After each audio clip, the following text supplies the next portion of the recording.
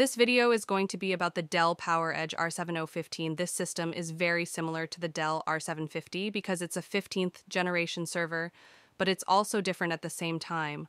All of these 75 type of units have AMD EPYC processors.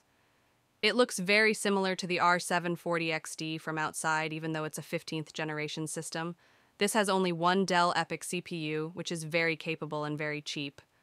We're going to build this particular system with a 30 core processor. Now, I'm going to take off the cover and show you what's inside. Okay, I took the top off. We can see the six fans in the front, and they're here to cool the 12 3.5 inch hard drives. There's also a CPU, heatsink under the air baffle.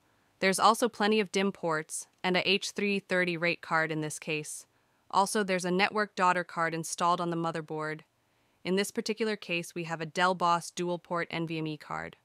Okay, now I'm going to take the air baffle off and show you guys the heat sinks and DIMMs. Okay, the plastic air baffle is off, and we can see a huge heat sink due to the large size of the AMD EPYC CPU. We can also see eight empty DIMMs on each side. This motherboard is quite a bit smaller than the one found in the R740XD. There's also two PSUs in the back, but right now I'm going to put the cover back on and show you guys the back of this unit.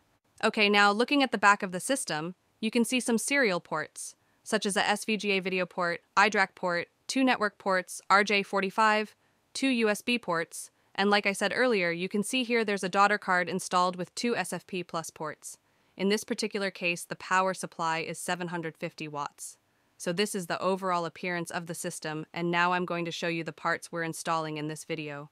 Okay, here are the components that we will be installing. As mentioned earlier, this is the Dell Boss Dual NVMe card, and we will be using this as the main storage. The CPU that we picked is the AMD EPYC 75-2. This is a great CPU that's about $200 with 30 cores. For the memory, we chose 16 ECC registered memory sticks, and each of them are 16 gigs, by the way. So we're going to have plenty cores and storage. We are going to install the operating system on the NVMe card and both drives will be in RAID 1. Since this particular system has the HBA 330 card, it will be easy to use it for Unraid, TrueNAS, or anything of that type of virtualization, even ZFS. Okay, the memory is installed, and I took the heatsink off. It's held by four screws, and as you can see, there are three more screws to hold down the CPU. Now, I'm going to unscrew them and install the processor. Okay, I installed the CPU, and I just wanted you guys to see how to apply thermal compound. In this case, I use ceramic U thermal compound, and on smaller CPUs, I just put a small dub in the middle, and that's it. But this CPU is huge, so I just did three lines on the CPU. And once I put the heatsink on it, these lines will evenly spread and cover the full area of the CPU. When you install the new CPU and memory, this particular system takes a while to initialize. Initially, you're going to see a message like this just be patient.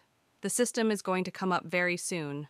Okay, the system is initializing. You can see the current BIOS, which we're going to update later on.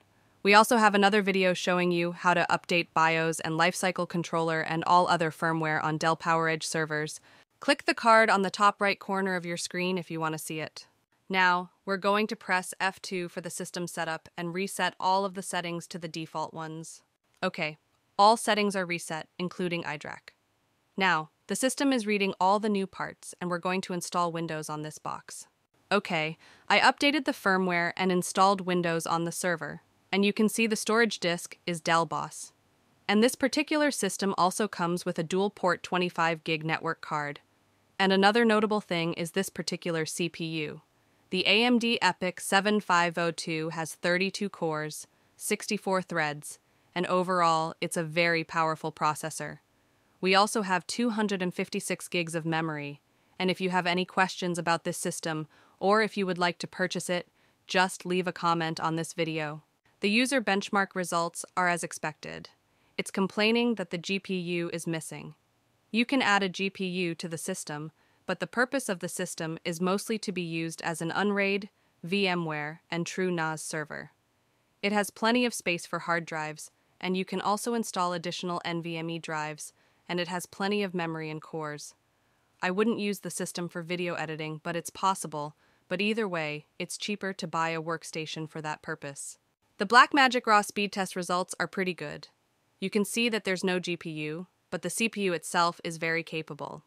As I mentioned before, this is a very, very powerful CPU. Cinebench is the last benchmark that we are going to do. Its single core performance is not that great, but since the CPU has 32 cores, you can see that it makes these results great. In conclusion, the system is very capable. You can easily run a whole company just on this system. It has plenty of hard drives, space, plenty of memory, and 64 threads.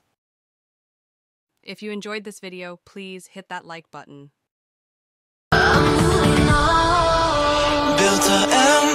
Empire of stars